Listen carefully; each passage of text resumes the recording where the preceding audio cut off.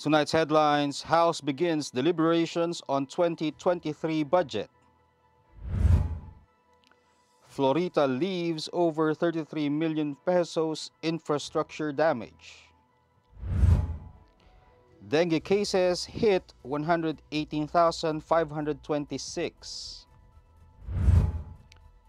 LPA to bring scattered rain over eastern Luzon.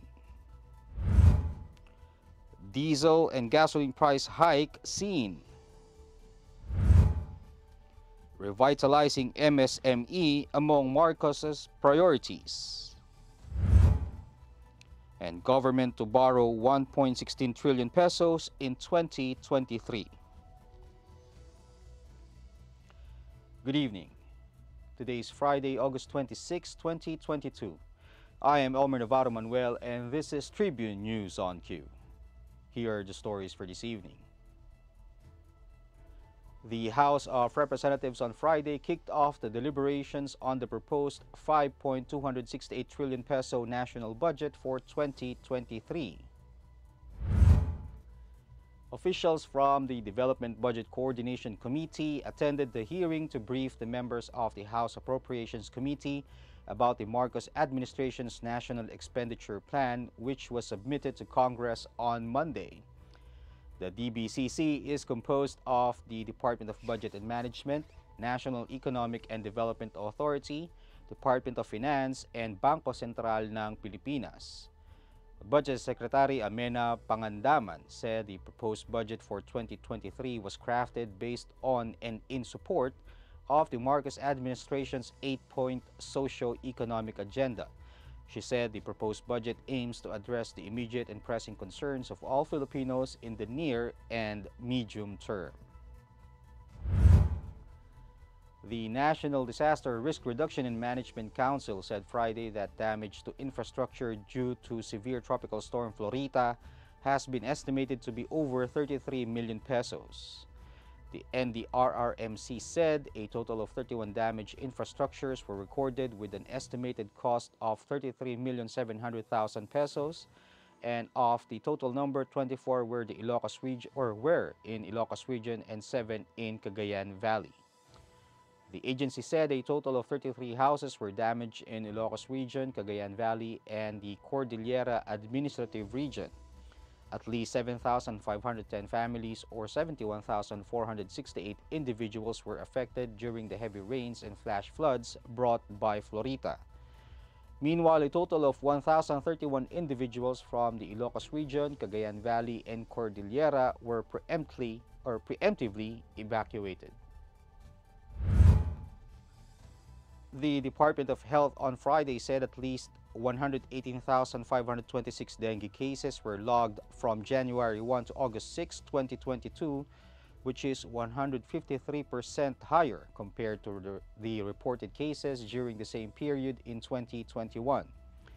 The DOH officer in charge, Maria Rosario Vergeire, said at least 29,586 dengue cases were recorded in the recent period from July 10 to August 6. Based on the recent period, the DOH said the region with the highest number of cases are in Central Luzon with 6,035, followed by the National Capital Region with 4,045 and Western Visayas with 2,946. The Health Department said 10 out of 17 regions such as Cagayan Valley, Central Luzon, Calabarzon, Mimaropa, Western Visayas, Central Visayas, Zamboanga Peninsula, BARMM, and Cordillera, or Cordillera region and NCR. Tribune News on Q will be back after these reminders. Magandang araw mga katribo! Narito na ang mga makakasama nyo tuwing umaga sa programang Gising Na. Roy Pelovelo, Comfy Manalo, Vernon Velasco, Kim Sancha at Chert Balagtas. Abangan ang programang Gising Na sa Facebook page ng Daily Tribune. Ilabas na ang mainit na kape at samahan kami sa inyong pag-almusal, mga katribo. Sama-sama natin alamin ang mga natatagong istorya sa mga latest na kaganapan sa loob at labas ng bansa. Maaari niyo rin ibahagi sa amin ang inyong opinion via Daily Tribune Facebook page at Tribune Now sa YouTube. Makichika na rin sa latest showbiz happenings mga katribo. Kaya naman, magsama-sama po tayo sa... Gising na!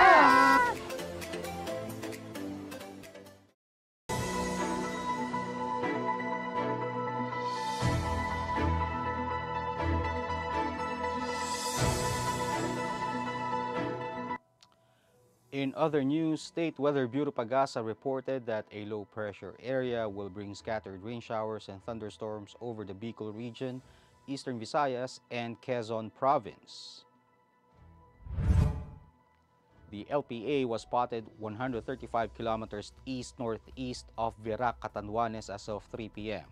Pagasa warned that the moderate to at times heavy rains from the LPA could cause flash floods or landslides.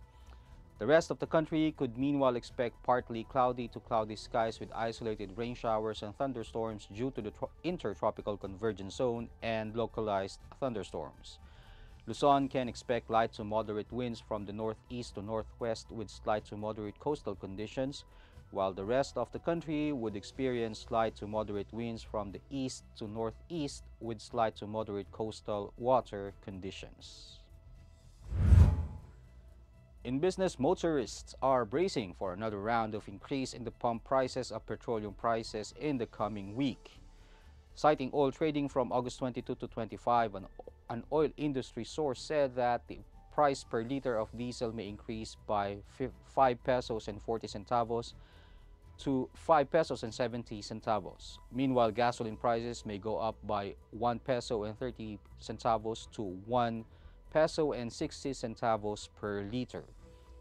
Department of Energy Oil Industry Management Bureau Director Rino Abad confirmed that a price hike looms next week with diesel prices expected to increase by more than 5 pesos per liter while gasoline may be hiked more or less 1 peso per liter. Abad said that factors which affected the movement of oil prices in the world market include the increasing demand for fuel in the United States and Europe amid the lingering concerns of supply shortage brought by the Russia-Ukraine war. President Ferdinand Marcos Jr. on Friday said that his administration would help small and medium-sized enterprises recover from the effects of the COVID-19 pandemic. During the Micro, Small and Medium Enterprises Summit 2022 at the Manila Hotel, Marcos recognized the sector's critical role in the country's economic regeneration, job creation and poverty reduction. He added that the government would harness the strengths of various sectors to ensure a more cohesive government approach in creating a more sustainable environment for all MSMEs and all important stakeholders. He also acknowledged that the success of MSMEs is crucial to fortifying the foundation of the economy. And Department of Finance Secretary Benjamin Diokno said on Friday that the Philippine government is expected to borrow more than 1 trillion pesos to cover the projected budget deficit next year. During the House of Representatives budget briefings, Diokno said that total revenue projections in 2023 was at 3.6 trillion pesos against a proposed budget of 5.268 trillion pesos, adding that the projected expenditures is 5.1 trillion pesos and there will be a deficit of 1.16 trillion pesos. He said that 75% of borrowings will be sourced locally while 25% will be from foreign sources.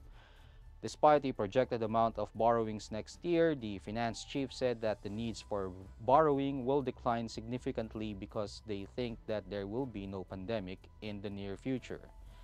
To recall, the finance chief earlier said that the government would no longer borrow as much as what was done during the Duterte administration. That wraps up the stories tonight. Catch us again on Monday only here at Daily Tribune's Facebook page. Again, this is Elmer Navarro Manuel and you're watching Tribune News on Cue. Stay safe, stay healthy, and stay at home. Good night, and God bless us all. We would like to thank the following. Araneta, Pag-ibig, SM Supermall, Veteran, Divina Law Offices, ICTSI, Xlog, Globe, Kia, PLDT, Cherry, Tanawan, Prime Homes, RLC, Pure Gold, Meralco, and SM Retail.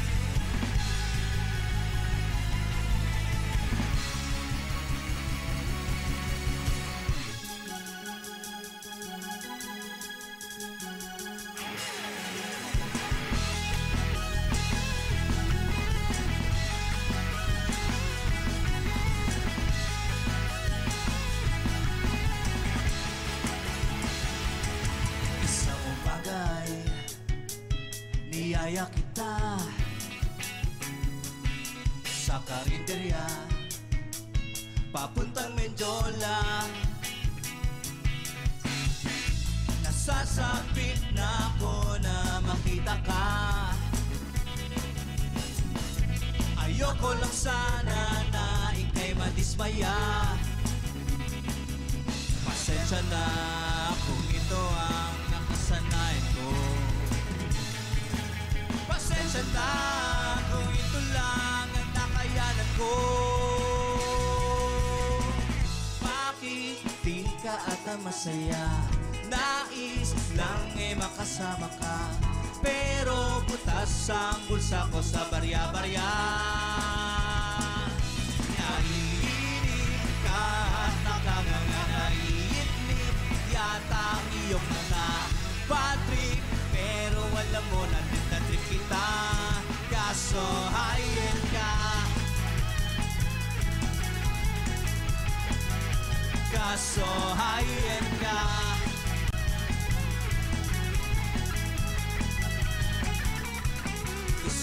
Mag-Starbucks Sinamahan kita. Wala akong order. Nakakahiya.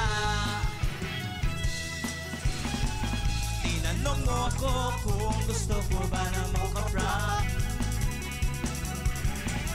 Sagot ko sa'yo ang kape ko yun sa mini-stop Pasensya na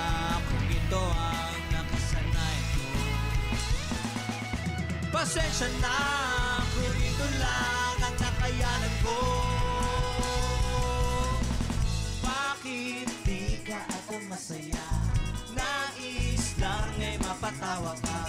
Pero butas ang bulsa ko sa barya-barya. Naiinip ka at nakanganga naiinlik Yata ang iyong mata Patrick, pero alam mo na trip kita Kaso hayan ka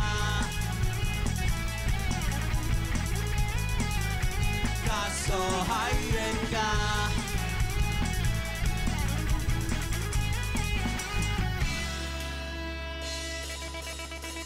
Sorry,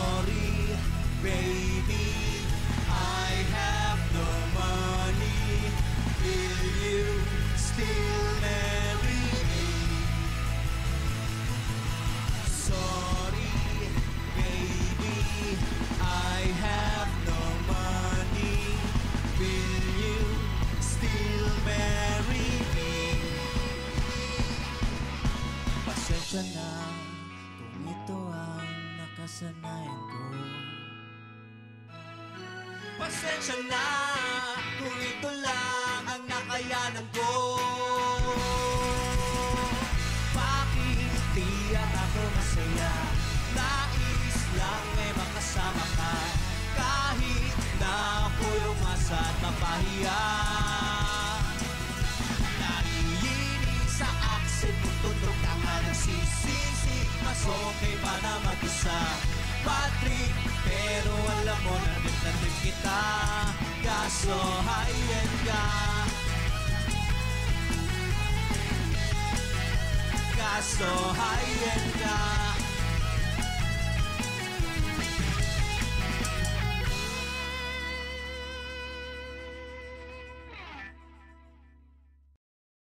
Catch the latest news on our website, tribune.net.ph.